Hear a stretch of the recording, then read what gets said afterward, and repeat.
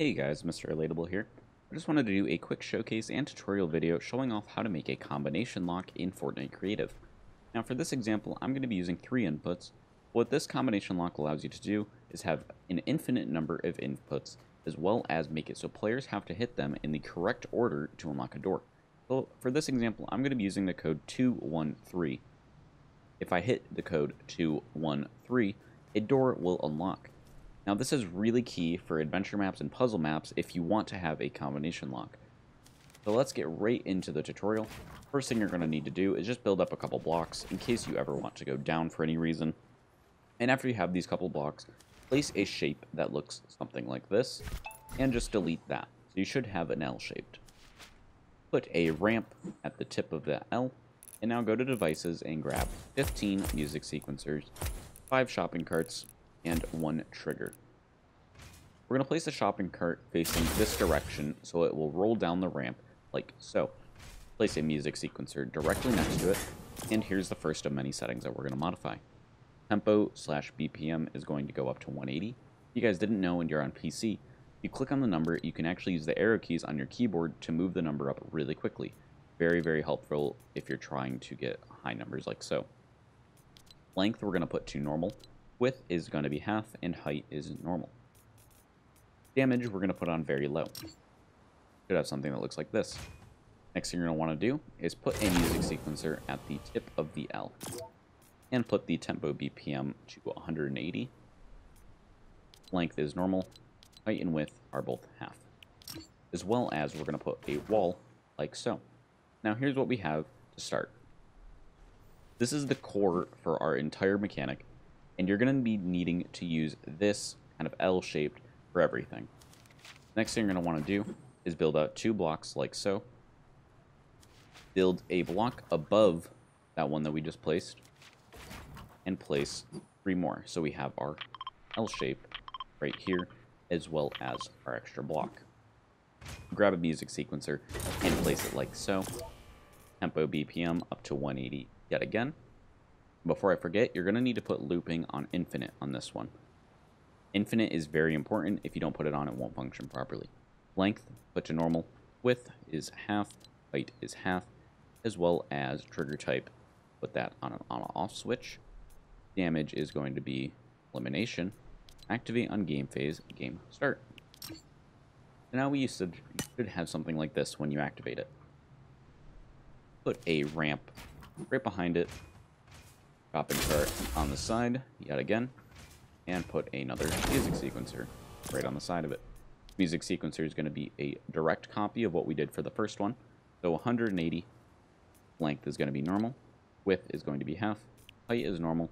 Damage very low. Now this is pretty much all that you need to do for a combination lock. You're just going to want to keep expanding this outwards. And I will be doing that one more time because we have three inputs. The shopping carts count each for one input. One shopping cart is one input. So we have two inputs currently. I'm going to be putting a third one for three. Put a music sequencer at the end of the L, similar to what we did over here, as well as putting a wall on the back side of it. Tempo BPM is up to 180 yet again.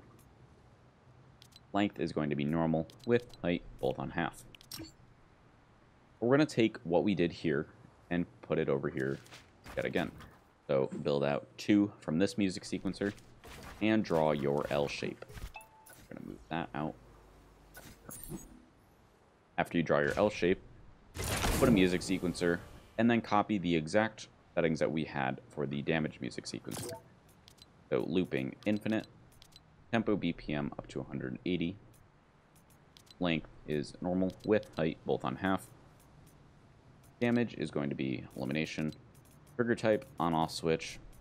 Start sequence. Nope, actually, activate on game phase, game start. Once again, after you hit it, you should have a barrier that keeps kind of bouncing like so. Turn it off, though. Put a ramp with a shopping cart on it. Music sequencer next to the ramp. Tempo BPM on the music sequencer up to 180. Length is normal. Width is half. Height is normal.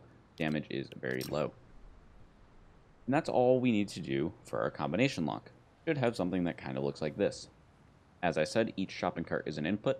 So if you were to do input number, or if you were to do five inputs, for example, you would just take what we've made and kind of expand that. So you would put another music sequencer, put two blocks, make our L shape again, put another damage music sequencer, ramp, music sequencer, and then kind of keep expanding it like so. However, as I said, we're just going to be doing three, so we're going to delete this and go on with the tutorial. At the end of this music sequencer, or at the end of this combination lock, excuse me, this shopping cart, so number three, is going to be our final input, so this music sequencer is going to face outwards. This is going to be our output music sequencer. This doesn't really have to be changed. What all I'm going to do is put a little piano tile at the end so we know if we get it correct. So that is the core of it. Next thing you're going to want to do is actually hook up the buttons to this.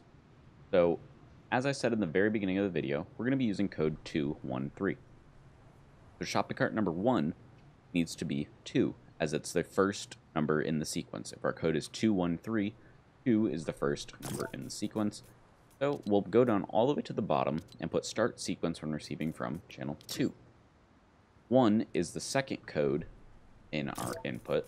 So shopping cart number 2 will be channel 1. So 2, 1, and now 3 over here. So that's pretty much it. Now we got to go down to our triggers itself and go down and modify each of them. So the first one, triggered by damage on. When triggered, transmit on channel 1, as it's the first button on the wall. Triggered by damage on. When transmitted, or when triggered, transmit 2. Second button in the wall. Triggered by damage on. Channel 3. Now we just have one, two, three. and that's pretty much it. I'm going to be doing kind of a walkthrough of what's actually going on here if you guys actually want to know the hardcore mechanics of what's going on. If you don't though, I'm going to have a little timestamp in the bottom left corner of the screen that you can just follow, and that'll just take you to when we are actually practicing and stuff like that. But for now, I'm just going to be going through how to actually do this, or what it actually does, excuse me. So what's going on here is both of these damage music sequencers are on game start, which means at the start of the game, they're going to be looking like that. That's what's going to go on at the very start of the game. Now, what would happen if you hit the number 1 before hitting the number 2? The code is 213, yet again. So what if we hit 1 first? Well, 1 is attached this shopping cart. The shopping cart in the middle, that's what 1 is assigned to. Well, if you hit 1 first, the shopping cart will be damaged and roll down the hill and hit this barrier, this barrier will instantly kill it, thus resetting it back up to the top. Now what if we hit 2 first? Well, 2 will roll down this ramp and hit this button right here, thus opening the barrier, allowing 1 to roll on down. Same thing that happens over here.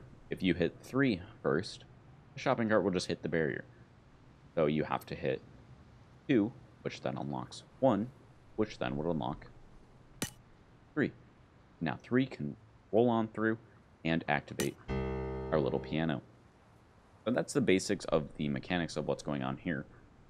And I'm just going to be showing you guys what it looks like in action now.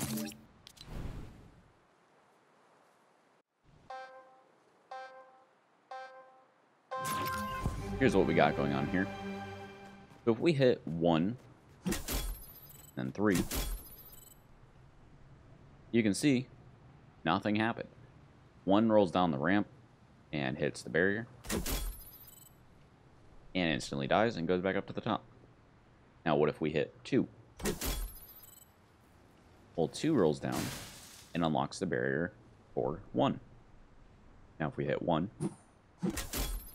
one rolls down, locks the barrier for three, three.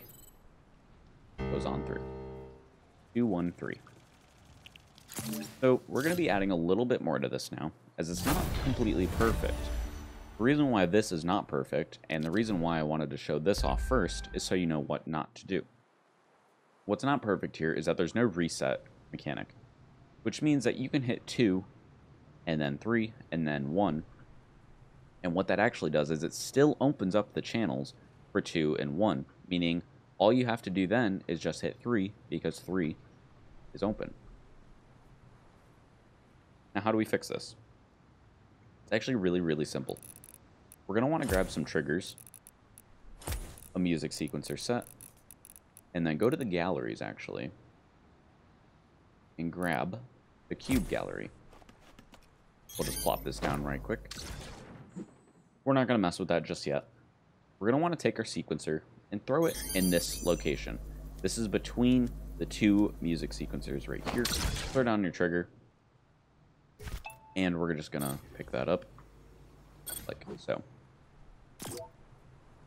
We're going to modify on this is the delay, which is pretty much saying how long do you want before this mechanic gets reset?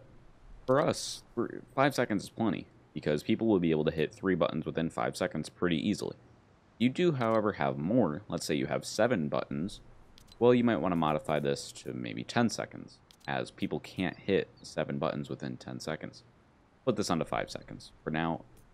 And we're also going to modify the reset delay, put that on two seconds. Now down here, when trans or when triggered transmit on, put that to 4. The reason we're doing 4 is because channel 1, 2, and 3 are all occupied currently. But we need a channel that's open. 4 is open, so we can put it on channel 4. Next thing you're going to want to do is just come over to here, like so, and place a music sequencer like that. This is going to be on 180, yet again. Length is going to be normal, Actually, length is going to be half, excuse me. Width is also going to be normal. And height is going to be. I believe that's correct. Yes. Okay. You should have a kind of a bar that looks like that. You're also going to want to make sure that the damage is on elimination, and then start sequence when receiving from channel 4. Same channel that we used for this. You can use any channel realistically, however, I'm just using 1, 2, 3, 4 and we're going to be doing 5 over there. Just for simplicity purposes, you could use 7, 8, 9, 10, 11, 12. It doesn't really matter.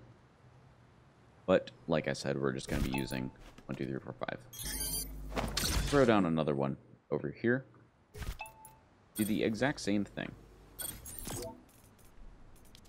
Delay, 5 seconds. Reset delay, 2.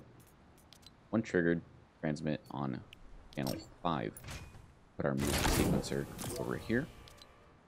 Tempo BPM up to 180. Put the length to half. Width is normal. Height is half. Damage, elimination, and start sequence when receiving from channel 5. The reason we're using 5 is because we used 4 over here, so we need another open channel. And that is pretty much it. Now, the reason we threw down this cube gallery is because we're just going to grab a cube, and we need to place it something like that. We're going to be placing it like that. So it's kind of halfway between the blocks. Do that over here too. Place it like that. So it's halfway between the blocks. Now this is kind of a weird thing to be putting here. The reason we need this is because sometimes the shopping cart will hitbox will go through the wall so this will actually not hit the shopping cart. Now, why does it actually need to hit the shopping cart?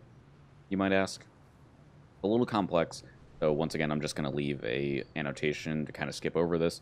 What's happening here is that the shopping cart's rolling down. And let's say that this, this barrier is on by default. Both barriers are on by default. The shopping cart rolls down, hits the barrier. That turns that off. Okay? Now, after five seconds, which is what the delay that we put on this. After five seconds, this will be activated. So if we just count one, two, three, four, five, this will activate. And now the barrier is back on, as well as because this is a damage um, sequencer, it'll actually destroy the shopping cart that has hit this little button. So that shopping cart will also go back up to the top. So that resets the shopping cart back up to the top, as well as resets the barrier to the on position. Same thing happens over here. It turns off the barrier. One, two, three, four, five. The barrier turns back on. Shopping cart gets destroyed. Goes back up to the top. So we're just going to start the game now. Show you guys what it actually looks like in action now that it is 100% fully complete. So if I hit 2, then 1, we will look up. 3 is open, but we've waited too long, so the shopping cart gets destroyed, and then resets back up to the top, and bam, our system is fully back to what it was to start. We hit 3, 1, yet again, nothing happens. Shopping carts get reset back up because the damage is still there. We hit two, one, three. Music plays. So that is everything that you need to know about this sequence.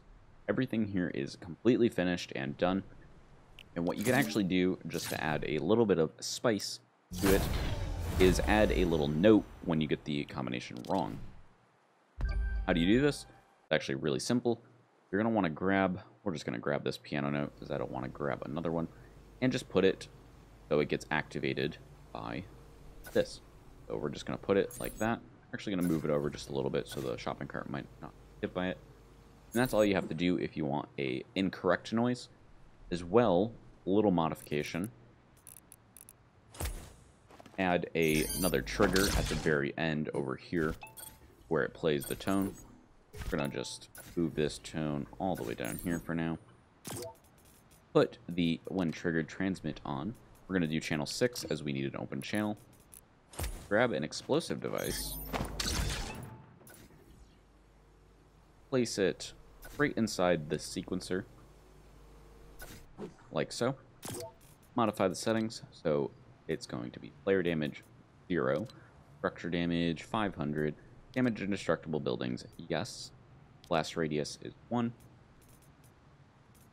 and let's see what else. Show VX, show or play audio slash VFX off, as well as explode when receiving from channel 6.